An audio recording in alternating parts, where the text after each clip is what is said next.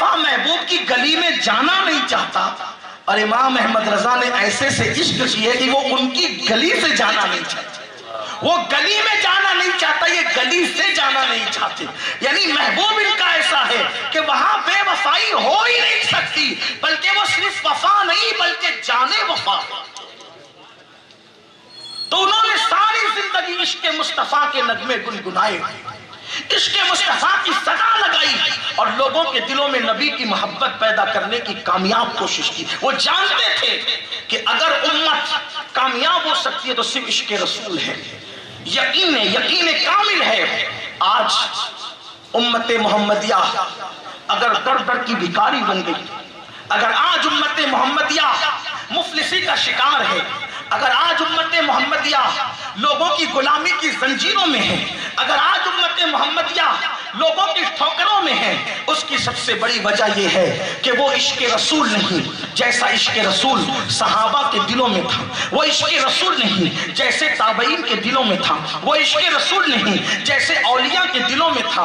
बड़ी माजरत के साथ हमारे घरों का माहौल इश्क रसूल का खत्म होता जा रहा है। हमारे दिलों का हमारे घरों का माहौल मोहब्बत रसूल के हवाले से सवाल पजीर होता जा रहा है। आप नहीं देखते, कल का सुन्नी मुसलमान अगर लाखों का मजमा हो, अपनी और बेगानों का मजमा हो, जब नबी का नाम आता था तो नामे मोहम्मद पर हमारे बड़े, अंगूठा चुनने में कभी शर्माते नहीं थे, लेकिन आजकल के नौजवान सुन्नी हैं, अपनी और बेगानों का माहौल है तो अंगूठा चुनने में शर्म आती है। पता नहीं लोग क्या कहेंगे? आपसे पूछना चाहता हूँ, दीवाना ये कब फ़िक्र करता है कि लोग क्या कहेंगे? दीवाना ये कब फ़िक्र करता है कि लोग क्या कहेंगे? उसको तो दीवानगी से मतलब होता है।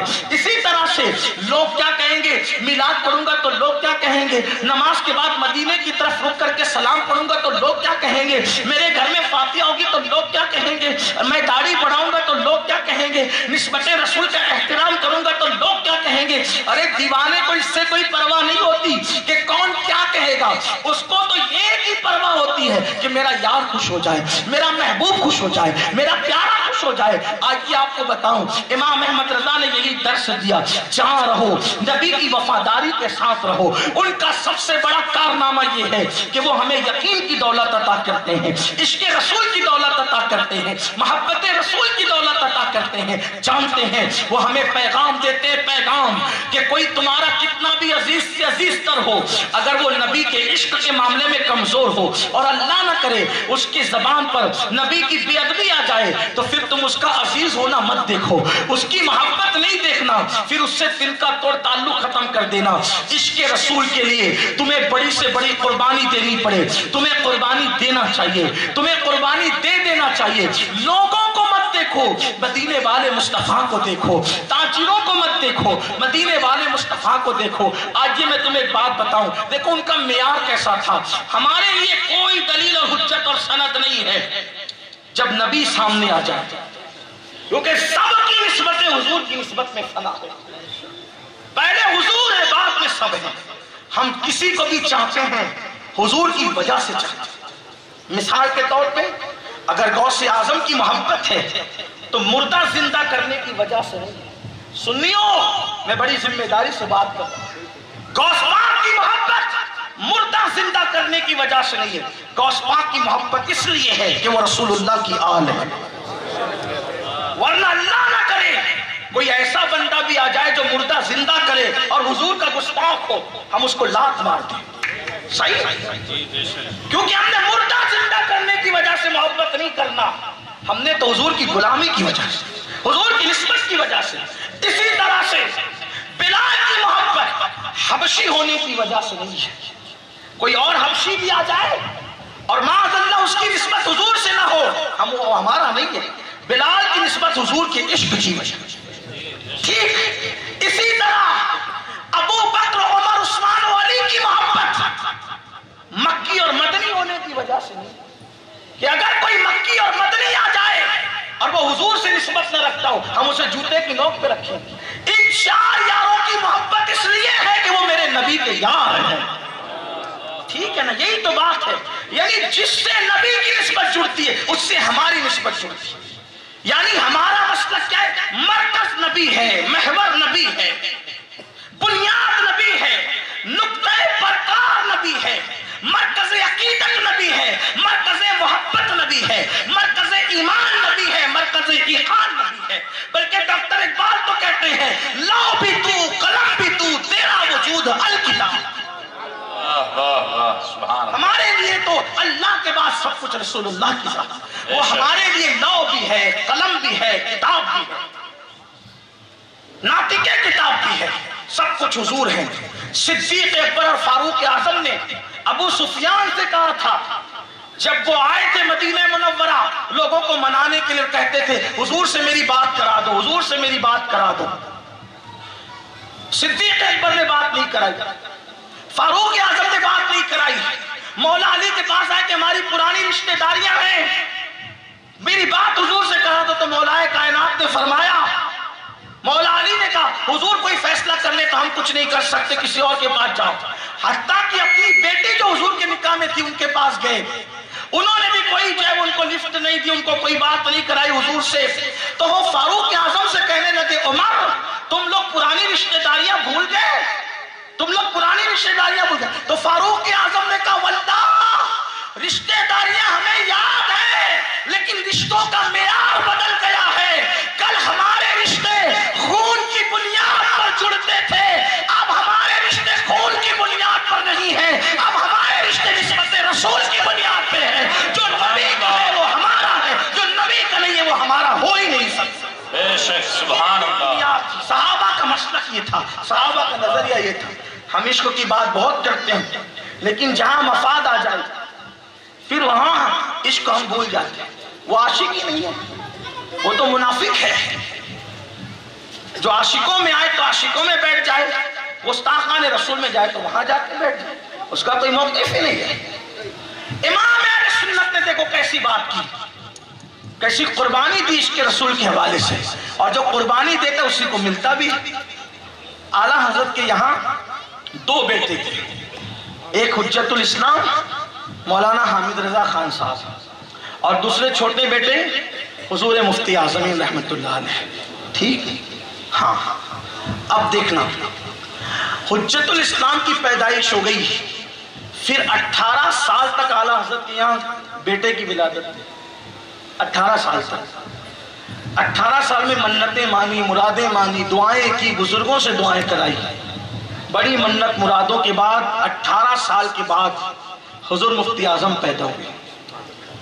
यानी बड़े भाई से इनकी उम्र का फ़र्क कितना था?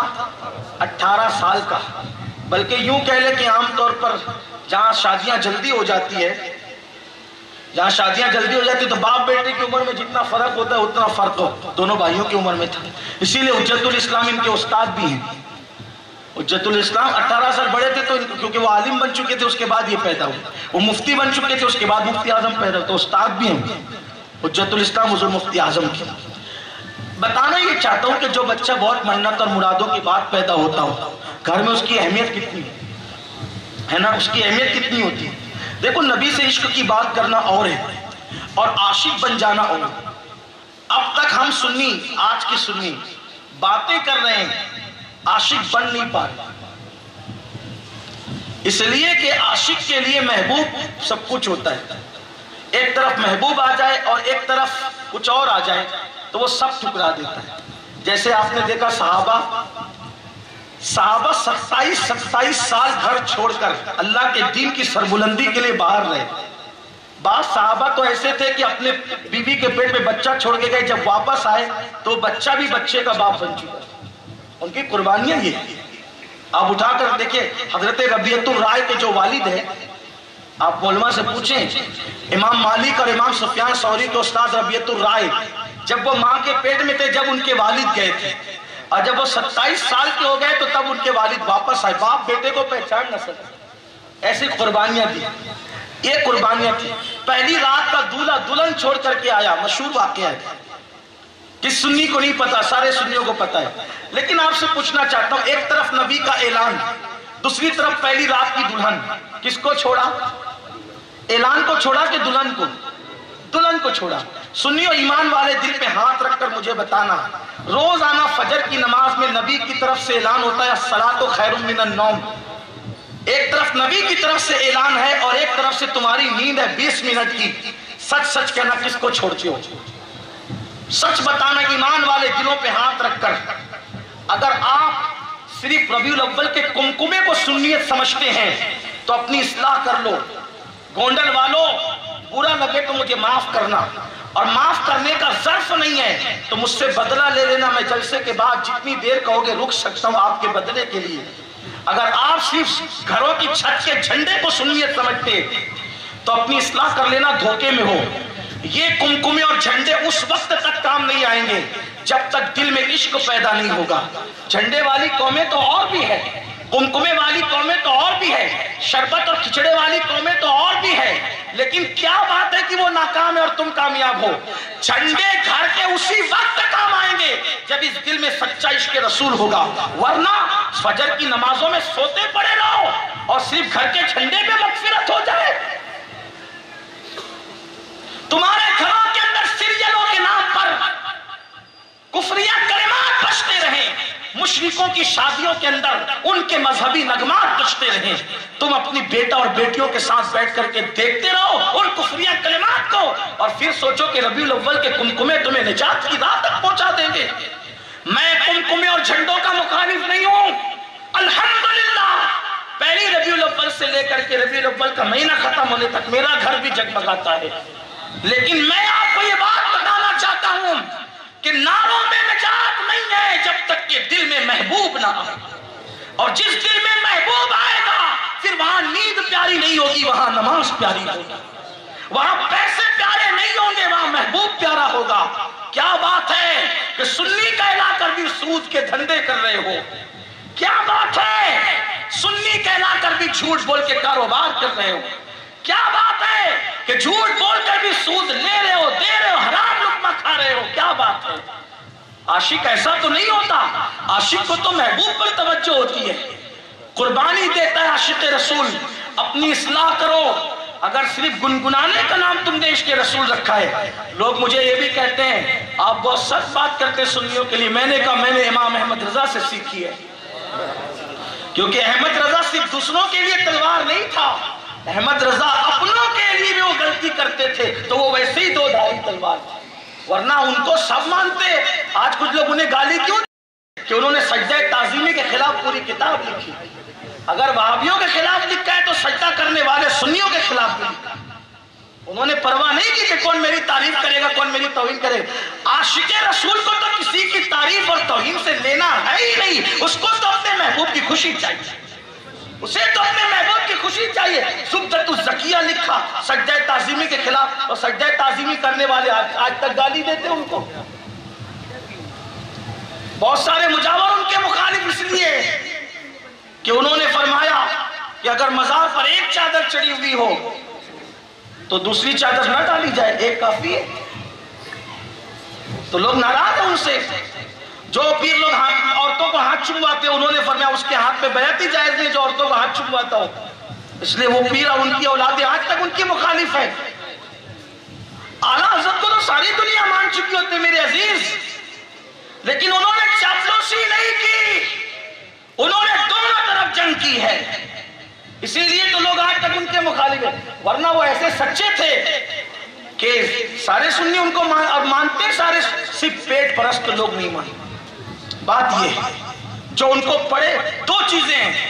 या गलत फहमी है, या पेट परस्ती है। और गलत फहमी वालों की गलत फहमी दूर हो सकती है। मैंने दोपहर की तकरीर में भी कहा, जिन मेरे भाइयों को गलत फहमी है प्रोपेगंडे की वजह से वो सिर्फ़ फतावा रजविया पढ़ ले, अगर पढ़ा लिखा है तो। उसको समझ में आएगा इमाम अहमद रजा क्या डॉक्टर इकबाल को भी गलत फहमी थी आला हज़रत से।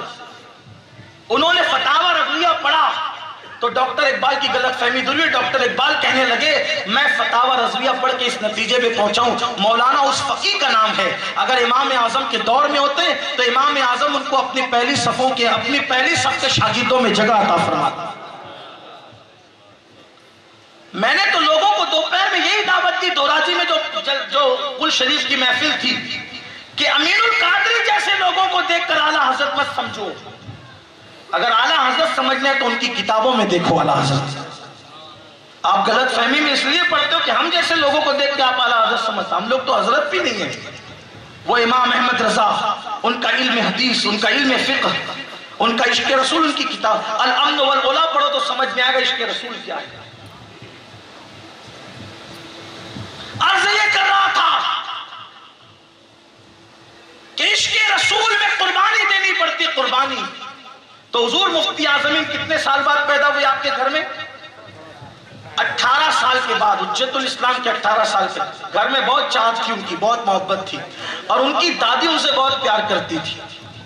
मुफ्ती आजमीन की की दादी, यानी आला हज़रत की वालदा उनसे बहुत प्यार करती उनकी उम्र चार साल की चार पाँच साल की यानी मुफ्ती आज़म का बचपना था।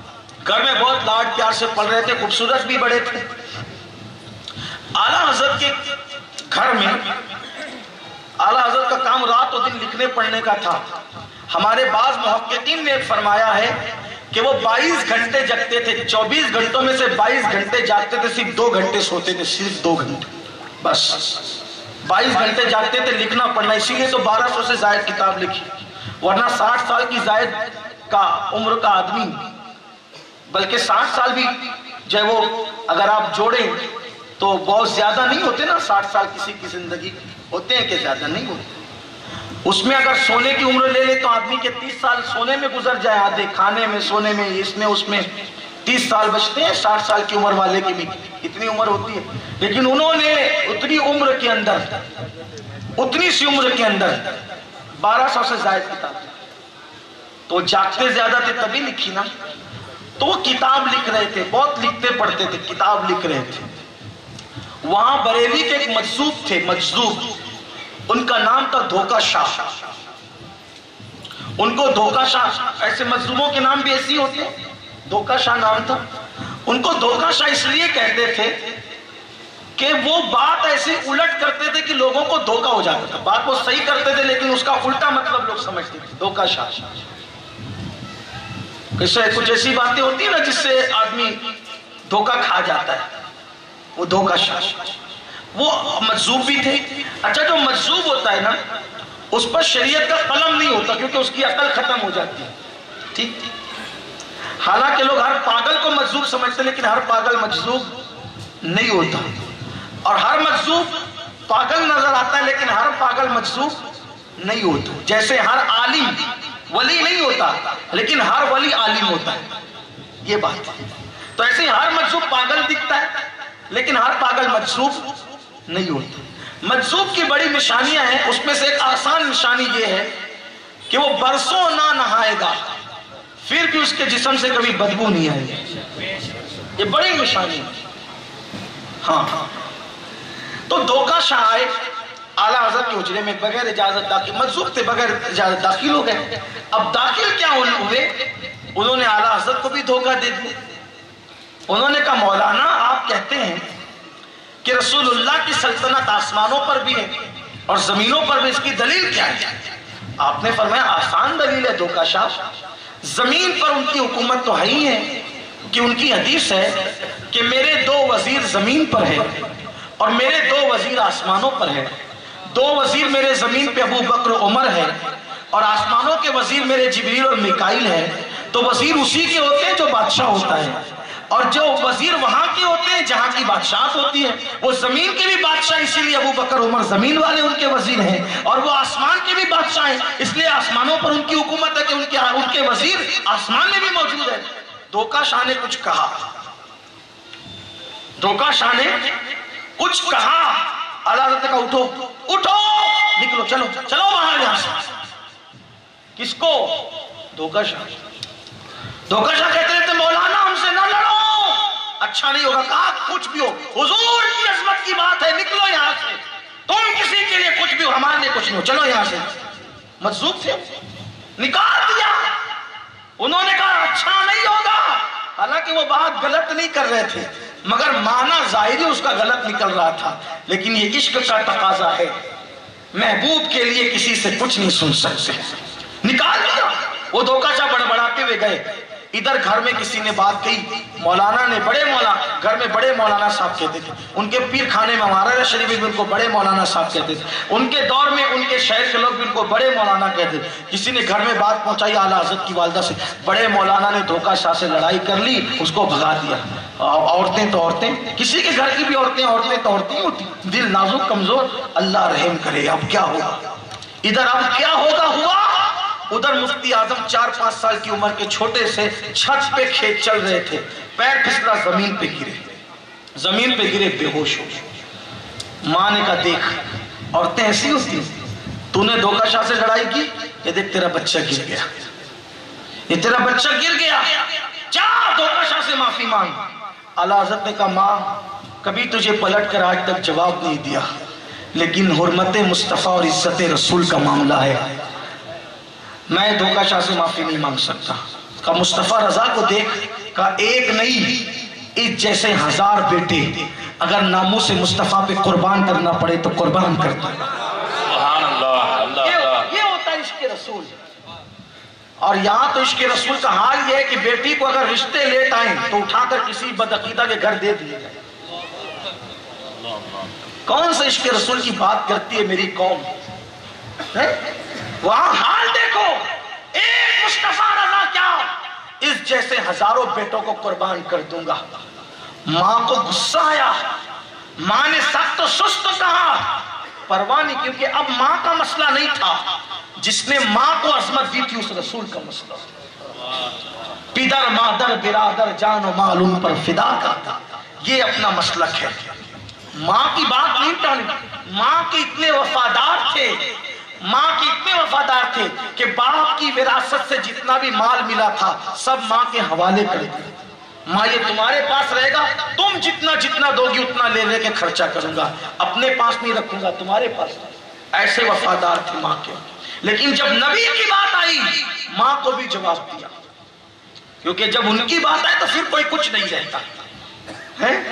कोई कुछ नहीं रहे और ये उन्होंने कहाँ से सीखा था? ये साहबा से सीखा था। हज़रत मुसाब इब्ने उमैर की माँ बहुत प्यार करती थी।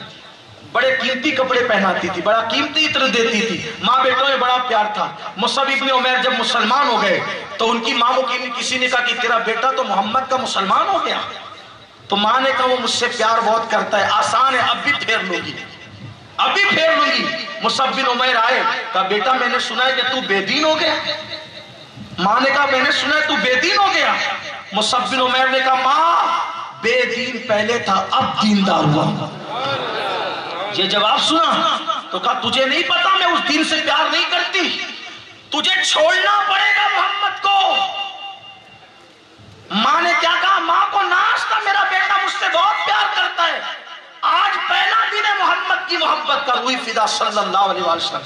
छीन लूँगी मोहम्मद की मोहब्बत रूही फिदा सल्लल्लाहु अलैहि वसल्लम। तो माँ ने कहा तुझे दो चीज़ें देती हूँ, दोनों में से एक चुन।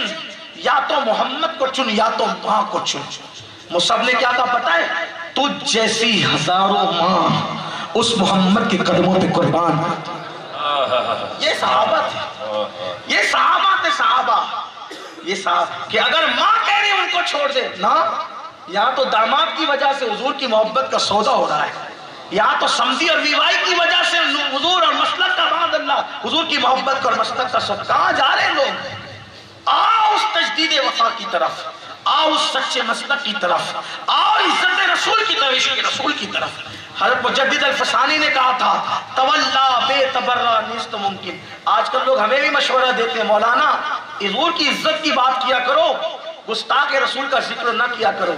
हम कहते हैं, ये कैसे हो सकता है? हज़रत क्या कहते हैं? तवल्ला बेतबर्रा नेस्त मुमकिन। कि हुजूर की मोहब्बत उनके गुस्ताख की नफरत के बगैर मुकम्मल नहीं हो सकती। अगर हुजूर का इश्क है तो उनके गुस्ताख से उतनी नफरत होगी जितनी हुजूर से मोहब्बत होगी। ये मेयार इश्क रसूल है। ये क्या बात हुई? कि हिंदुस्तान में नबी की तरफ़ सलाम भी पढ़ते हैं। और फिर काबतुल्ला शरीफ जाते हैं तो किसी के भी पीछे हाथ बाँध के खड़े हो जाते हैं। नहीं